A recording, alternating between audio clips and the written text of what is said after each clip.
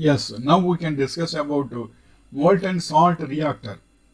A molten salt reactor is a class of nuclear fission reactor in which the primary nuclear reactor coolant and or the fuel is a molten salt mixture. Only two MSRs have error operated, ever operated both research reactors in the United States.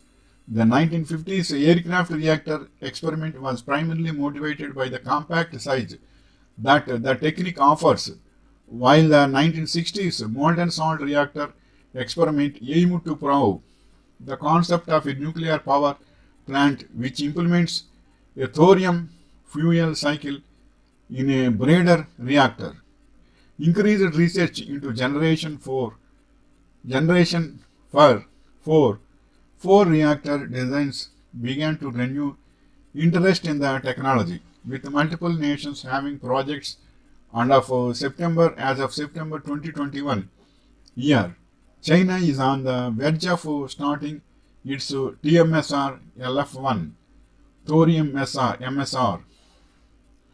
MSRs are considered safer than conventional reactors because they operate with fuel already in a molten state and in event of uh, an energy emergency the fuel mixture is designed to drain from the core where it will solidify, solid, solidify preventing the type of nuclear meltdown and associated hydrogen explosions that are the that are at risk in conventional solid fuel reactors.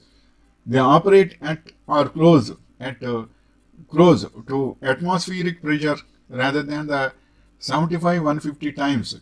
Atmospheric pressure of typical light water reactor hence reducing the need for large expensive reactor pressure.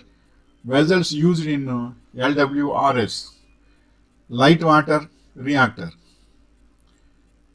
Another characteristic of MSRs is that the radioactive fission gases produced are absorbed into the molten salt, the opposite to conventional reactors where the fuel rod tubes must contain in the gas.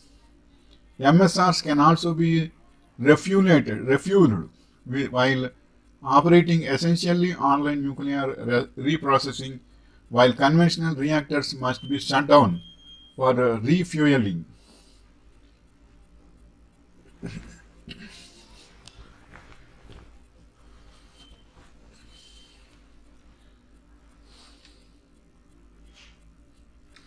A further key characteristic of MSR is operating temperatures of around 700 degrees C, that is 1292 degree Fahrenheit, significantly higher than traditional LWRS at around 300 degrees C, 572 degree F, that is Fahrenheit, providing greater electricity generation efficiency, the possibility of grid storage facilities, economical hydrogen uh, production, and in some cases process heat opportunities.